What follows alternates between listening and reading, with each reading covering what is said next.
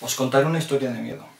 Una historia de miedo que me, que me pasó por agua unas vacaciones en Navidad y en la cual un ciberlistillo, eh, utilizando a Movistar, me hizo perder mi número de teléfono. El 678-333-333. No es una crítica, esto no es una crítica a toda la compañía Movistar, tampoco es una...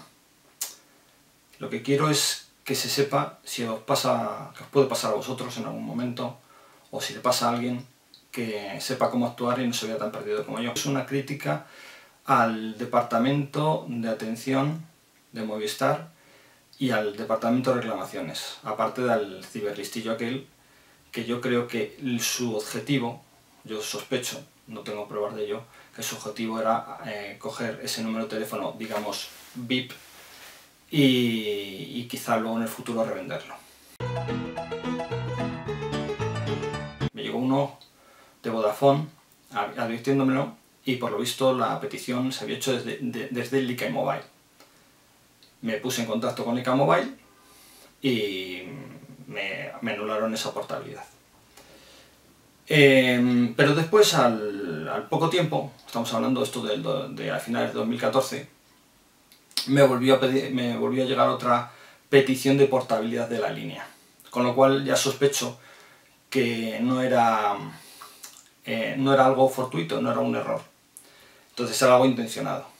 Aparte de que, que de algún lado tuvo que salir el número de la tarjeta, el número de tarjeta de Vodafone que yo tenía entonces porque yo incluso hice un duplicado de la SIM, de, esa SIM, para que cambiase el número, un número que tiene la tarjeta y por lo tanto fuese más difícil pedir una portabilidad.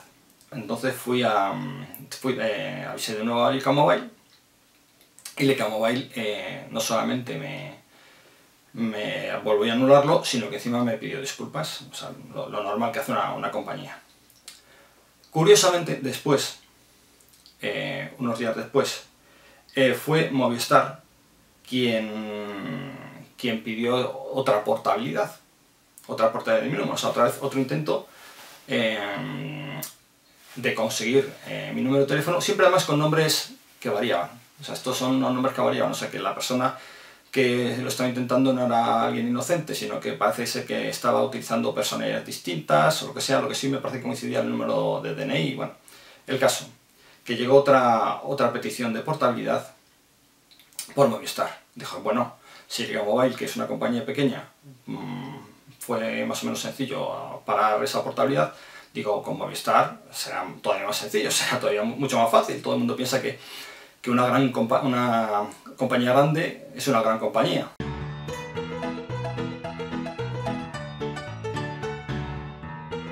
Movistar no quería cancelar esa portabilidad. O sea, no decía que el, que el teléfono no era, no era mío, que era de otra persona, que pertenecía a otra persona, que estaba registrado en su sistema para otra persona, y el caso que no, que no quería dejarlo, vamos, que, no quería cancelar esa portabilidad.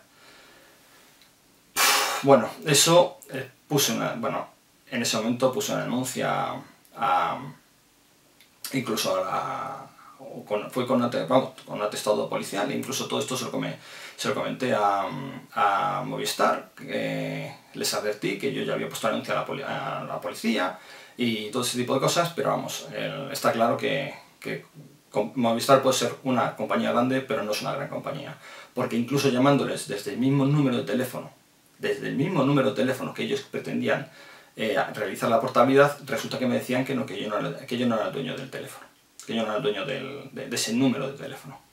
Es algo increíble. Bueno, el caso. Mm, imaginaros, eh, imaginaros que va a ser el número de teléfono, imaginaros lo que significa.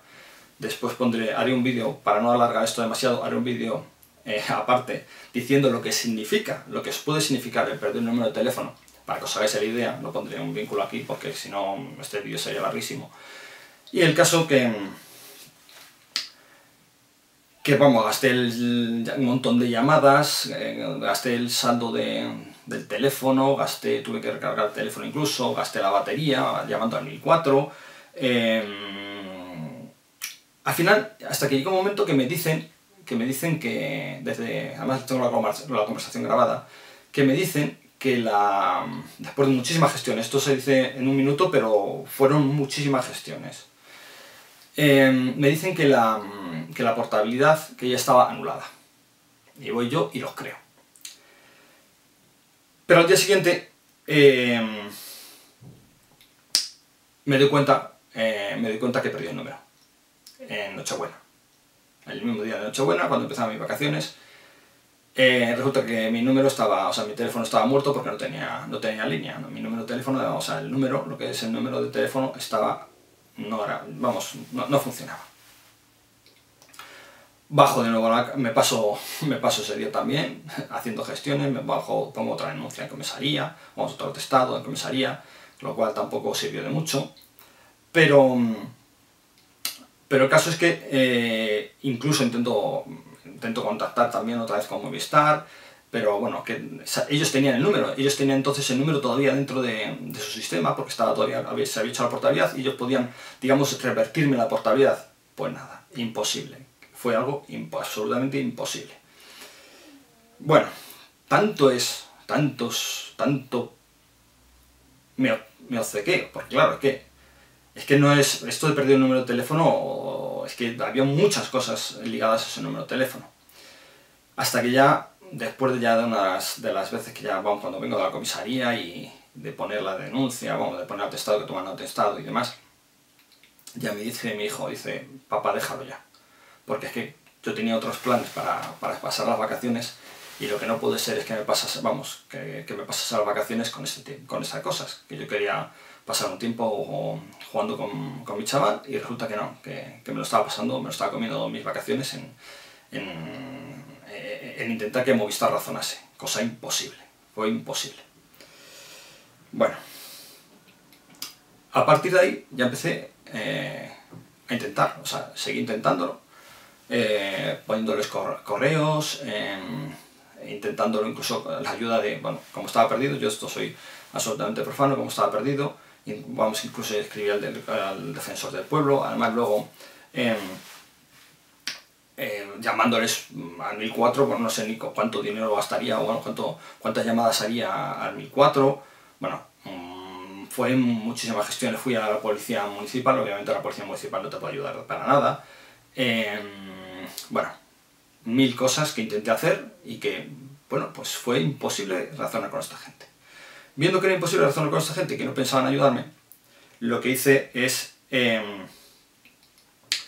les em, eh, abrí una reclamación, les puse una reclamación.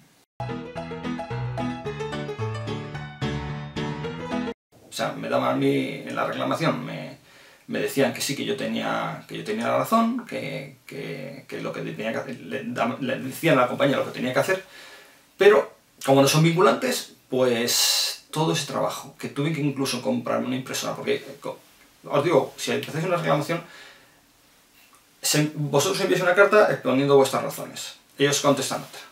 Así, y todo tiene que ser, no te puedes saltar, o sea, tienes que contestar inmediatamente, tienes que andar contestando inmediatamente en las cartas para que no se te pase el plazo, porque si no la reclamación se archiva.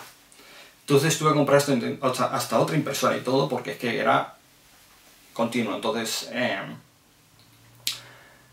además luego las contestaciones, luego os pondré copia de las contestaciones que me daba Movistar, que prácticamente decían que sí, que la portabilidad se había hecho, se había hecho perfectamente.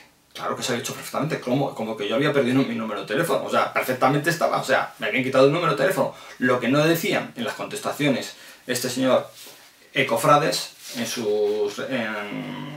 lo que no decía es que yo no había solicitado, lo que no caía, lo que no quería entender es que yo no había solicitado esa portabilidad.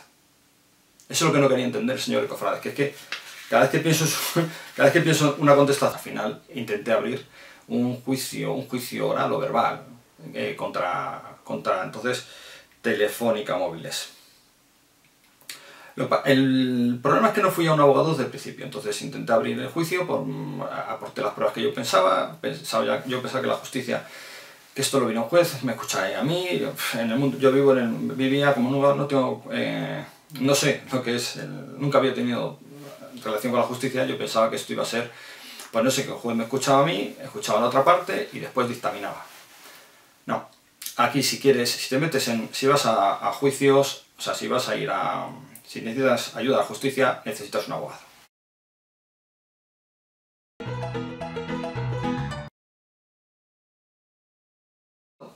No me iban a compensar ni de coña el infierno que yo pasé. Y, bueno, pero por lo menos el hecho de decir hay sentencia y la sentencia, aunque sea digamos, parcialmente atendida parcialmente lo que son las demandas económicas, pero por lo menos el, hecho está que, queda, queda, escrito que fue una, vamos a llamarlo, negligencia eh, por parte de Movistar que tuvieron que pagar. A mí em, me llama la atención el hecho de que una gran compañía como Movistar tenga un sistema de atención al cliente tan pésimo en este sentido, que fuera tan incapaz de, actuar en, este caso, que fuera, vamos, em, absolutamente inoperante para resolver mi problema, cuando es que estuve llamándoles tantas veces que tengo un montón de conversaciones grabadas de ellos. O sea, estuve llamándoles numerosas veces.